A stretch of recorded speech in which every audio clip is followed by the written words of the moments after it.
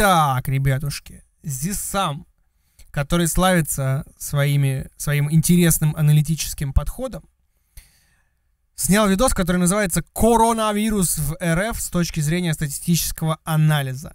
Я думаю, что мне просто вот необходимо, мой, так сказать, долг, это бахнуть на него реакчанского, а ваш ответный долг — это поставить мне лайк, написать какой-нибудь комментарий и подписаться на мой канал. И спасибо всем, кто это делает. Еще больше я хочу, конечно же, сказать спасибо тем, кто заходит на мои стримы, потому что просто тупо даже ваше присутствие на моих стримах. Это чудесно, прекрасно. Я это, ну, прям вот просто очень радуюсь, когда вы это делаете. Это действительно помогает моей деятельности. То есть благодаря этому в конечном итоге выходят видосы, которые кто-то смотрит только в записи.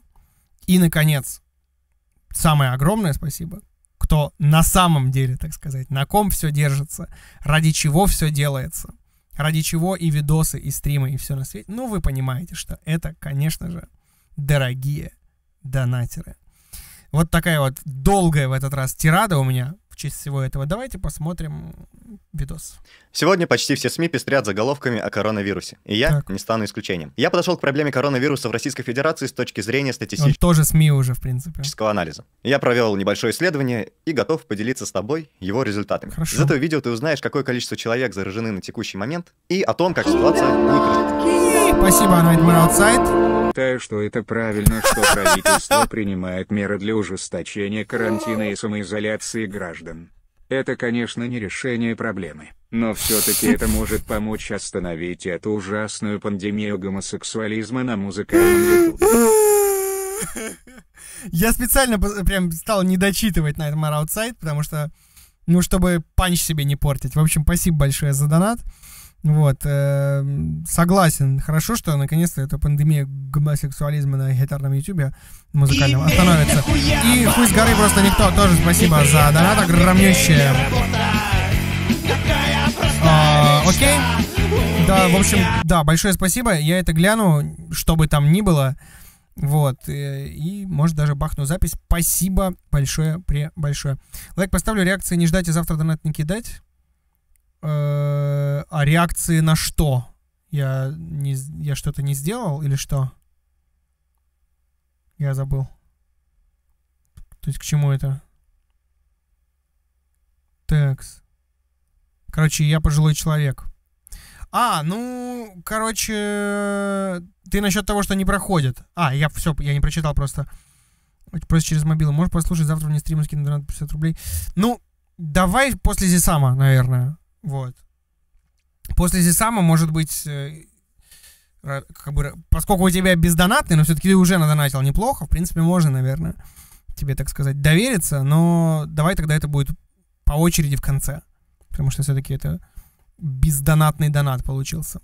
Как-то так. Все, давайте дальше продолжим. Уже. Развиваться в дальнейшем. Так, еще раз. Знаешь, какое количество человек заражены на текущий момент? Бля, я забыл. Коронавируса в Российской Федерации с точки зрения статистического анализа. Ага. Я провел небольшое исследование и готов поделиться с тобой его результатами. Из этого видео ты узнаешь, какое количество человек заражены на текущий момент и о том, как ситуация будет развиваться в дальнейшем. Для своего исследования я взял данные из открытых источников, конкретно с сайта coronavирусмонитор.ру. Здесь доступны данные о числе заразившихся с 2 марта 2020 года по сегодняшний день, 25 марта 2020 года. На текущий момент число заразившихся составляет 666 человек. Если построить график по этим наблюдениям, то можно увидеть, что здесь имеется это же металлическое, метальное, адское, сатанинское число. Экспоненциальный рост. То есть эти данные можно описать функцией Он y. поэтому и решил снять э, видос, видимо, как только 666 человек равно достигли. e в степени x. Для того, чтобы работать с этими данными и строить какие-то прогнозы, необходимо привести их в линейный вид, то есть прологарифмировать. Что я, собственно, и сделал, и данные стали выглядеть вот так. То есть данные, в принципе, очень похожи на линейную функцию, которая описывается формулой y равно kx плюс b. Это дает мне возможность при Я нихуя не понимаю, что он говорит, но очень интересно. помощи линейной регрессии получить коэффициенты а и b и таким образом Не, я просто не заметил в чате. Я иногда могу в чате не заметить. получить формулу, по которой я могу предсказывать значения. Итак, Пандемия гомосексуализма. Да, прям неплохая была бы песня. я использовал линейную регрессию, где в качестве входной переменной x я использовал номер дня, номер наблюдения, а в качестве выходной переменной y прологарифмированное количество заразившихся. Моя модель получила следующие параметры, следующие результаты. Во-первых, r квадрат получился равен 99%. Это значит, что 99% наблюдений подпадают под ту функцию, которая у меня получилась. Это значит, что модель описывает подавляющее большинство наблюдений. Далее, π-значение получилось меньше, чем 1 тысячная процента. Это значит, что модель значима на очень низком уровне, то есть точность модели достаточно высокая. Что касается Круто. коэффициентов линейной функции. Значит, коэффициент при x получился приблизительно равен 21 сотой, а свободный член 1,35. Свободный член. Знаете, у кого свободный член? Вот, ну и здесь должна быть шутка либо про Леоса, либо про Найтмара, но у них не свободные члены. самом деле. Таким образом, функция, У них занятой член. которая описывает логарифм числа заразившихся, А. имеет вид y равно 0,21x плюс 1,35. Имея данное уравнение, я могу посчитать Член. прогнозируемое число заразившихся. Что я и сделал. Далее, в зависимости от номера наблюдения, я могу построить прогноз. При помощи полученного уравнения я могу получить логарифм от числа заразившихся, прогнозируемый. А если я подставлю это значение в функцию экспоненты, y равно e в степени x, то получу прогнозируемое значение заразившихся. То есть, например, меня интересует 24 О! день. При помощи моего уравнения я получаю, что логарифм от числа заразившихся получается 6,45. И если я подставляю это значение в функцию экспоненты, то получаю 633 заразившихся, что является довольно близким значением к Мгм. настоящему фактическому значению 666. Аналогичным образом, получив логарифмы заразившихся для последующих дней и преобразовав их в количество заразившихся, я получаю прогнозные значения.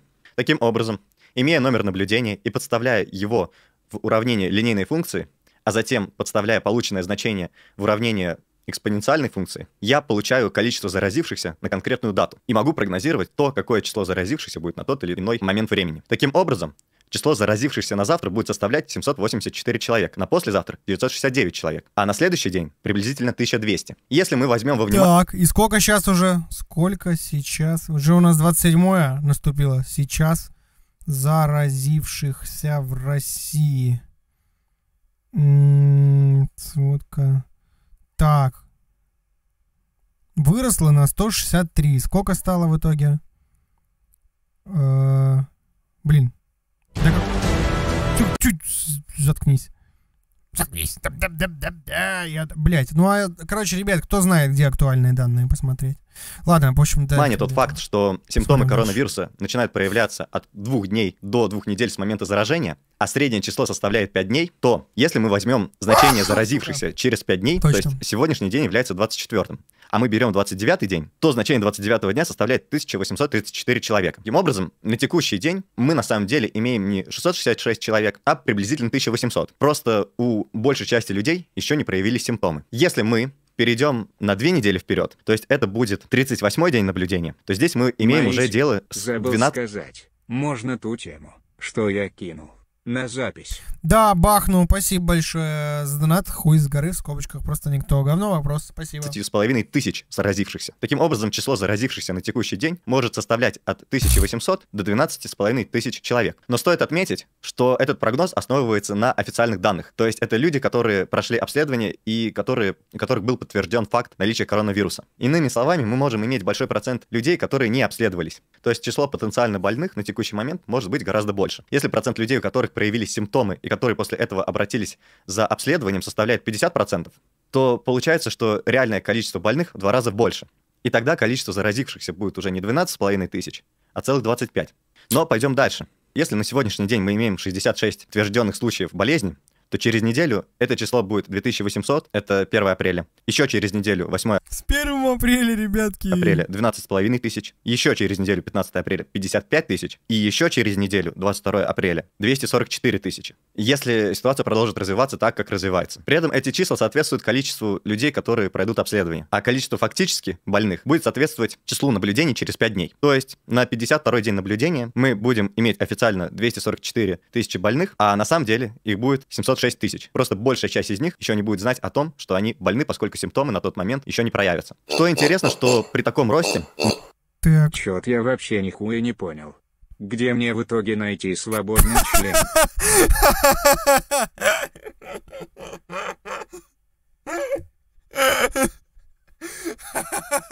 Блять. Что-то я вообще проиграл. Короче, он показывает, что будет, если нихуя не делать. Если вообще нихуя не делать. Но у китайцев же не так явно. А, типа, у них там вообще вот эта вот вся штука остановилась. То есть, соответственно, если что-то сделать, то как бы э, все это хуйня. Если вообще нихуя не делать, то вот как бы он показывает самый худший вариант развития событий.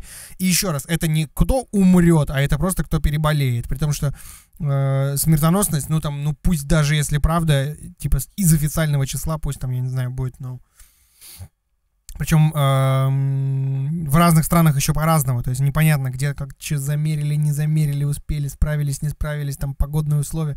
Ну, пусть будет там, блядь, 5%, хуй знает, да. Ну, соответственно, будет просто ужасное, страшное, если 10 миллионов, допустим, заболеет, то погибнет 500 тысяч. Плохо, плохо, грустно, но... Ну, типа, это Теряю не конец. нервную девственность с тобой, Мэйси. Нам випт. Спасибо большое. Теряю донорную девственность. Спасибо большое, Будч, за Будч, за донат.